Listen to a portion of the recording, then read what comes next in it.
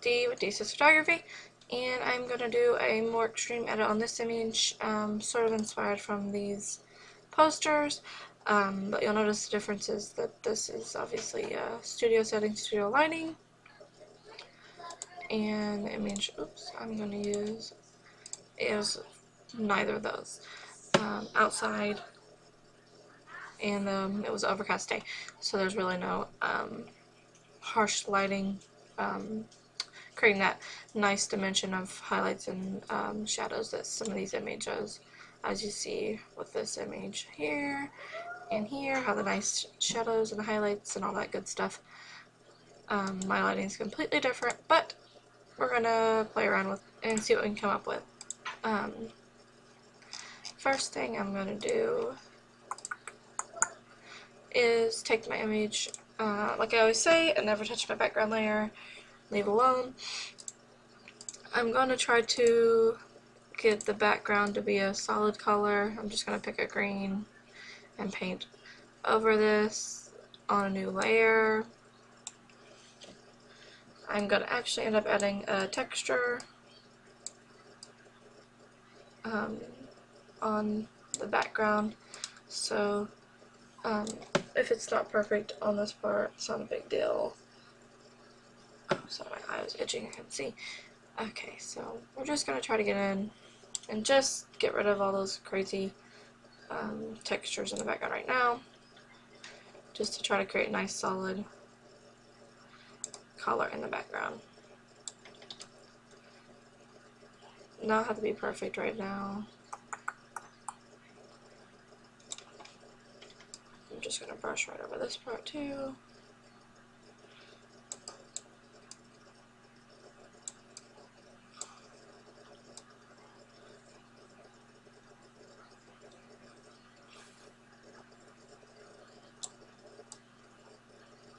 I just get some flyaways, so I'm actually going to try to also um, smooth those out with the color.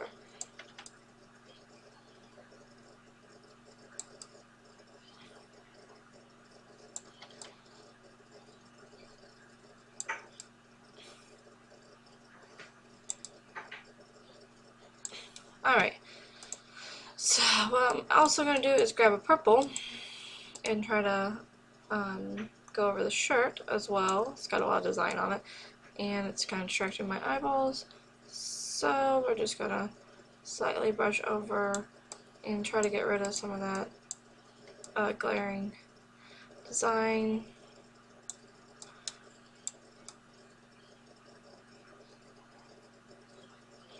And this is more, more of a, a painterly effect, so it's okay to use your paintbrush because it's kind of like the effect I want to go for eventually in the end anyway, which is what I'm going to use a combination of um, a texture to help with that also.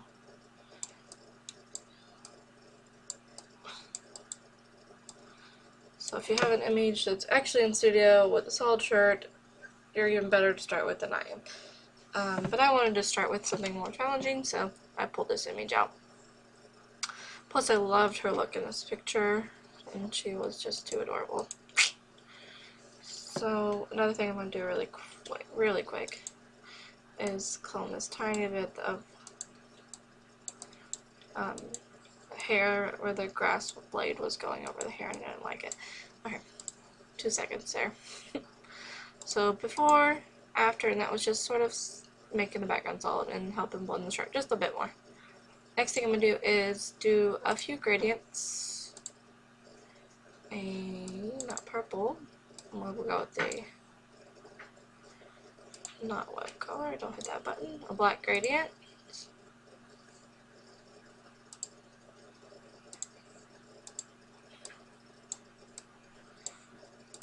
And I'm going to change the angle to come more from almost the entire side here. Uh, set that to overlay and pull it down Sorry, I was trying to get these done really quick, and my son wants to go find monsters right now, so I'll be doing that as soon as I finish this video. um, overlay, you can also, you can play around with your blend modes on what you want to set it to.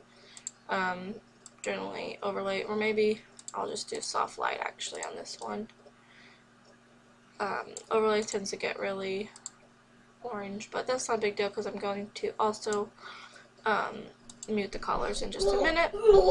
And I'm going to get a white gradient. I went and train, changed my color, my foreground color to white so I didn't have to deal with uh, changing it in a minute. That way it's already selected for me here. I'm just going to change the angle just a bit. Here. Same thing, same blend mode. Um, or I may even go with overlay to make it even stronger on the highlight part.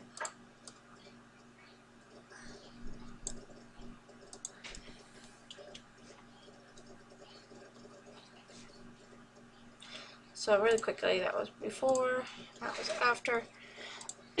just a few just changes. And I'll go down. It's just sort of creating um, a dynamic shadow highlight. Kind of controlling where the light and shadow is coming from. I'm also going to do a gradient map. Should have flipped those around, but black to white. And uh, do that black and white. You can see when you turn all those off the difference on that would be, but I'm actually using this to mute my colors, so I'm going to pull it down to like 20%, leave the blend mode, and you can tell that it kind of muted all those colors down a bit. Get a levels layer, pull my midtones up, pull my shadow, my blacks down, pull my highlights up, just a bit on that part, and then blend that down just a bit more.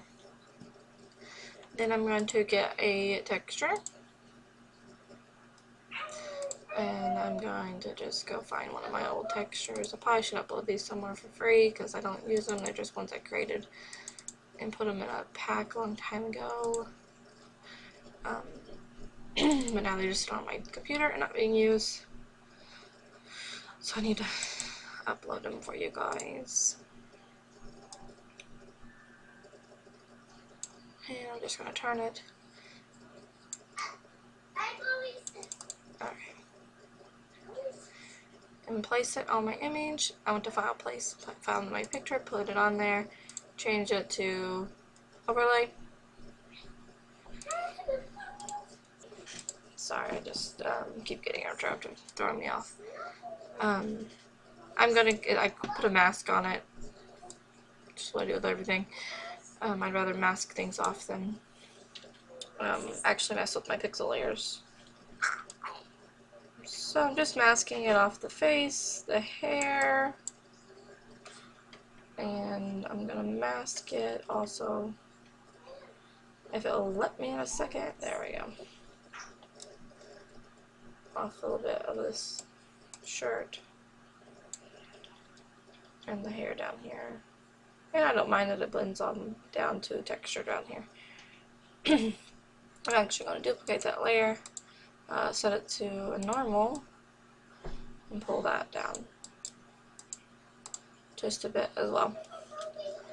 So I got two different type textures on here.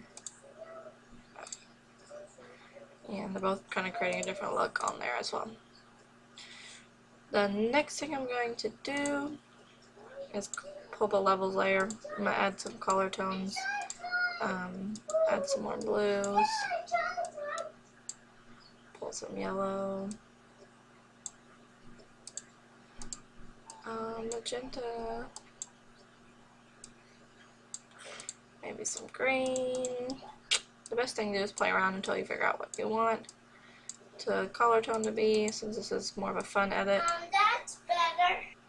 Um, so I'm going to pull my shadows back down too as well. Just a bit. Alright, so that was here. That's just adding more color tones to it. And the final step I'm going to do is, as always, my Dodge Burning overlay. I'm going to get a black brush. We'll set it to 40% and um, I'm going to brush on strong so you can see the difference and I'll just play around with my opacity after I'm finished.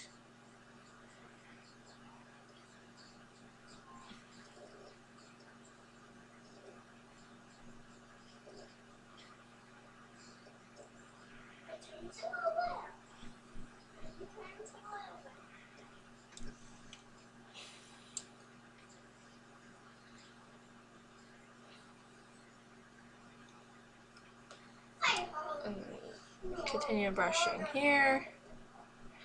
And I'm going to do some um, extreme contouring. And this, like I said, this is not a normal edit. It's just more of a fun artistic edit. So um, if you want to try out new things, new techniques, it's fun to play with. Uh, dodge burning, especially contour contouring, contouring, I'm trying to think how to pronounce that word right now, um, a face, because it helps out a lot um, to know where you play, where you want to burn, where you want to dodge. So if you know anything about makeup, you'll know where to do your contouring. So you want to dodge um, the highlights and burn where your shadows generally will be at. And I'm just going to do a little more extreme on that side.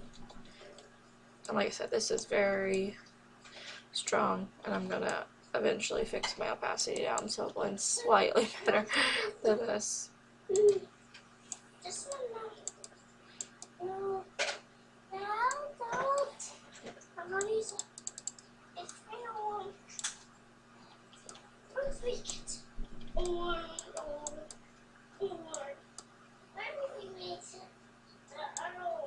Alright. So pull it back down. That was really strong. And there's before and there's after. It still um, adds a lot of dimension to the image without pulling away too much from looking unnatural.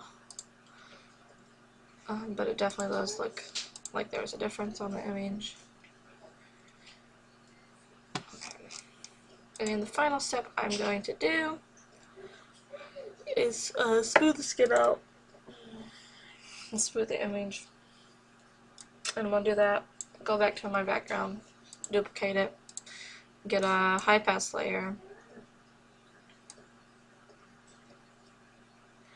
We're going to do that like 14 maybe here. 14. Sounds good. Let's try it out. The best thing is to try out what's what works for your image. Control I which is actually going to invert your high pass as you can see. Oops. It smoothed it out like crazy. I changed my blend mode to overlay after I hit control I and you can play with your blend mode. Um, soft light's going to make it not as strong. Hard light, vivid light are even stronger on the smooth.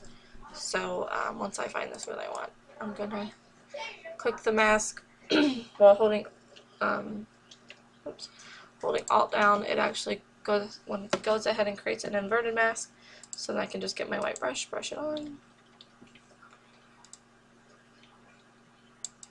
And since this is more of a painterly effect anyway, um,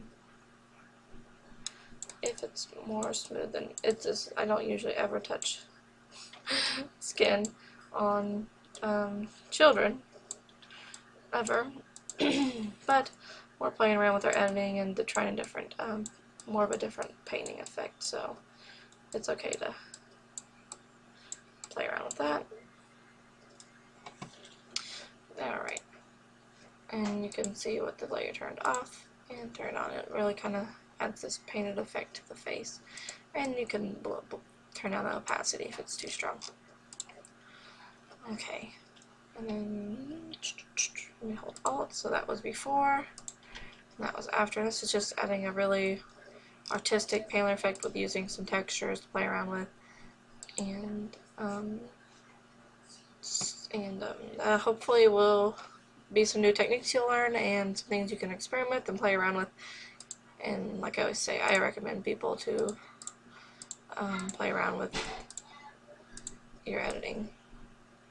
So you can always play with your blend modes, play with your opacities, um, and even go in and tweak everything a little bit more if needed. Oh, whoops, not like that. I need to zoom out just a bit because it bugs me. Alright, so that was before, like I said, normal image, and that's just more of an artistic, painted, almost painted like a portrait shot. Really fun to play with this uh, technique. And some things to do, some new things to try out. Hopefully that helped you guys. Thank you very much.